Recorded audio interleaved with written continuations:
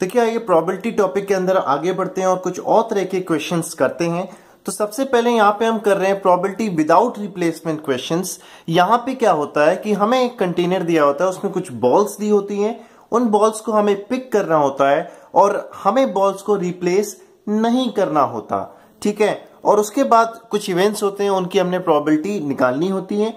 तो यहाँ पे जो हमें गिवन क्वेश्चन है उसमें हमें 21 बॉल्स दी हुई है कंटेनर के अंदर जिसमें आपकी 12 ग्रीन बॉल्स हैं और 9 आपकी ब्लू बॉल्स हैं। ठीक है? टू बॉल्स को हमने पिक करना है।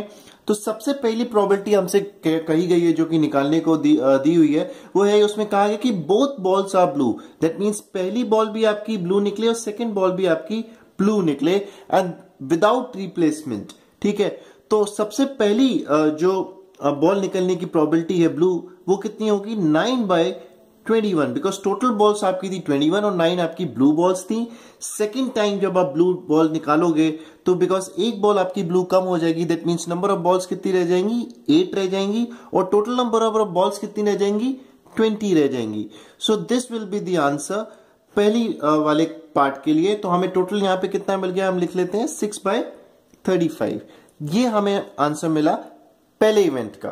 आइए सेकेंड इवेंट का देखते हैं। इसमें कहा गया है कि one ball is blue and the other is green तो इसमें आप देखो दो केसेस हो सकते हैं कि इसमें कहा गया कि पहली पहली कोई ज़रूरी नहीं है कि पहली ब्लू हो और दूसरी ग्रीन हो, ठीक है? और या पहली ग्रीन हो, दूसरी ब्लू हो। दोनों ही हो सकते हैं। दोनों के दोनों इसके अंदर आएँगे। दैट मीन्स हम यहाँ पे कह सकते हैं कुछ इस तरह से होता है कि पहली ब्लू हो, दूसरी ग्रीन हो और पहली आपकी ग्रीन निकली हो या दूसरी आपकी ब्लू हो। तो ये दोनों केसेस आपके सेटिस्फाई करते हैं इस इवेंट को। तो इसके अकॉर्डिंग अगर देखोगे तो पहली ब्लू निकलने की प्रोबेबिलिटी कितनी हो गई? नाइन बाई ट्वेंटी वन और दूसरी ग्रीन निकलने की प्रोबेबिलिटी कितनी हो गई? ट्वेल्व बाई ट्वेंटी बिकॉज़ एक बॉल आपकी कम हो चुकी थी बिकॉज़ हम एक बॉल यहाँ पे पहले निकाल चुके थे। प्लस पहली ग्रीन निकलने की प्रोबेबिलिटी कितनी थी? ट्वेल्व बाई ट्वेंटी वन और सेकेंड बार आपकी ब्लू निकलने की प्रोबेबिलिटी कितनी हुई? नाइन बाई ट्वेंटी तो इस तरह से हमारी सेकेंड प्रोबेबिलिटी निकली, ये वाली, जो कि हमें यहाँ पे इसका आंसर मिलता है अगर आप सॉल्व करोगे 18 बाय 35 ठीक है? आइए इस क्वेश्चन को थोड़ा और एक्सटेंड करते हैं। यहाँ पे हमसे कहा गया कि one more ball is picked ठीक है? दो बॉल्स के साथ अब हम तीन बॉल को निकाल रहे हैं। तो सबसे पहले पार्ट में कहा गया कि ऑल बॉल्स आर ग्रीन तीनों की तीनों बॉल्स आपकी जो हम निकाल रहे हैं, वो ग्रीन निकले, उनकी प्रोबेबिलिटी क्या होगी? विदाउट रिप्लेसमेंट तो बड़ा ही सिंपल सा है। जो पहला वाला पार्ट था, उसको हमने जस्ट एक्सटेंड करना है। हमें यहाँ पे कितने ट्वेल्व ग्रीन बॉल्स थी। That means twelve by twenty one सबसे पहली चीज़ यहाँ ये निकली।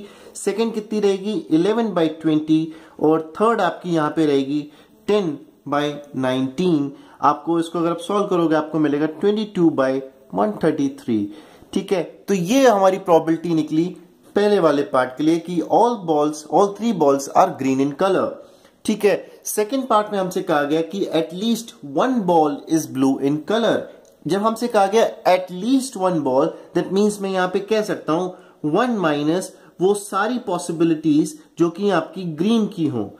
ठीक है? तो ऊपर हमने ये निकाला था सारी कितनी निकली थी? ग्रीन की 22 टू बाय वन तो सिंपली मैं यहाँ से इसको यूज़ कर सकता हूँ। One minus twenty two upon one thirty three तो हमें इसका आंसर यहाँ पे मिलता है। Triple one upon one three three this will be the answer to this part तो इस तरह से हमारी प्रोबेबिलिटीज निकलती हैं विदाउट रिप्लेसमेंट के क्वेश्चंस में। आइए अब रिप्लेसमेंट्स के साथ यही क्वेश्चंस करते हैं।